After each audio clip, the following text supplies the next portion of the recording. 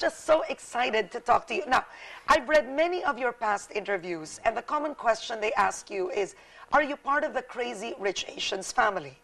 Definitely not. okay, no. Definitely not. No, I'm, you know, related distantly to a lot of crazy rich Asians, Yes. but not directly. Now, Yeah. are, are, has it sunk in the success of Crazy Rich Asians? Let's talk about Yeah. this book first, because nobody expected this book. This is what this was like a sleeper hit. More than 500,000 copies sold. It's practically changed the perception of a whole nation. It's pretty amazing. Yeah. I think I'm definitely still in shock over, yeah, yeah. you know, even coming here and meeting the fans. It's really my first time interacting with, Yeah. with Asians who have read the book. Yeah, And yeah. to see the love and to see the joy the book has, has brought, really, it's such an honor. And I'm so grateful, Yeah. really, to, to be part of this. Now, you know how, how Asians, and specifically the rich Chinese, were perceived, let's put it to a few years back. They were seen as nouveau rich, lacking in taste, coming from, let's say, the Europeans that were very uh, low key, uh, very reserved. And you had Asians buying Birkins, Louis Vuitton, so much jewelry in Paris and all that. And now you've changed how they're viewed. What was the inspiration and how did you change that perception? I think really because this was the first book to really show that Asia, especially Southeast Asia, has an old money culture. In countries like the Philippines, Singapore, Hong Kong, there's been wealth for generations. You know, my grandmother was wearing clothing from Paris back in 1915. Yeah. She was getting her shoes sent to her, you know, from Paris Yeah, in yeah, the 20s. yeah. So this wealth and this private sophistication has existed for much longer Yes. than a lot of the people in the West think. Because they only see the tacky, they only see the bling of some of the nouveau riche. You know, those are people that are most visible. Yes. But this book really revealed this hidden wealth. Yes. This sort of very Jane Austen, Downton Abbey world of, of very private, Yeah. exclusive families. Now, what's interesting about you is you are actually a Jane Austen fan. Huge. Yeah. Absolutely. So, Pride and Prejudice, was it an inspiration for the book and the characters? It really was. Why was it? Tell me. You know, I think it's one of the most beloved books in the English language. And it's something I read very early, you know, when I was in college studying literature. It was just one of these kind of mind blowing experiences because I never thought I would enjoy an old fashioned English book that was so dense, but it just turned out to be this universal story Yeah. about love and about snobbery, Yeah. really.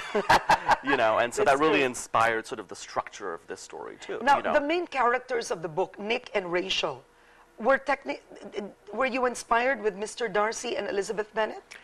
Nick is not as grouchy as Mr. Okay, Darcy, I would say. He's, he's, yeah. he's much charming from the get go. Yes. But Rachel, really, in a way, because she's an outsider, she's coming into this world of Asian wealth that she knows nothing about. You know, she was born in America. She's what we call an ABC, American born Chinese. Well, there's such a and term. so, okay. oh, yeah, absolutely. okay. And so she didn't have a perception of how wealthy Yes. some of these Asians were. And she Yeah. gets sent on, a, you know, she goes on vacation with him to attend a family wedding, and then Yes. she's in the middle of all these scandals and explosive, Yes, you know, a lot of bitchery Yeah. going on, you know, because she's dating the most eligible bachelor in all of Asia. Yeah. Now, what's quite interesting is, is uh, China Rich Girlfriend is they get married in the sequel.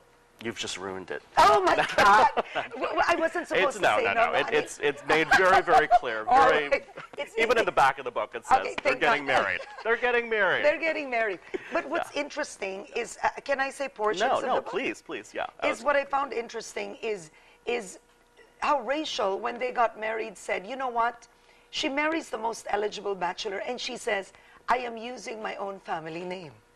In fact, not even my name, but I'm choosing to use Rachel Young. Okay, why did that have to be an important factor in the character of Rachel? I think it's really about her coming into her own because she finds in the, in the book one, she learns Yeah. a big mystery about her past and her, you know, she never knew her father. Yes. And then now in the, in, in the new book, she starts to get to know her father. She discovers who her father is. Yeah. Actually, you know, very, very soon before her wedding. Yes, But she feels that to really truly be her, it's about the union between her and her husband. Yeah. So the name she wants to take now is his. Yeah, a lot of a, lot of the feedback I've been reading is, of course, they've commented on the opulence, extravagance in the book, the insane materialism, helicopters left and right, Yeah. just insane food and wealth. Do your characters have good values? Do they teach us lessons? Absolutely. Go some ahead, do. I mean, some it, have very yeah. bad values. yeah. You know. Go ahead. But you know, you know, for Rachel, for example, she she's really she's not a materialistic person. She's about looking into people's hearts.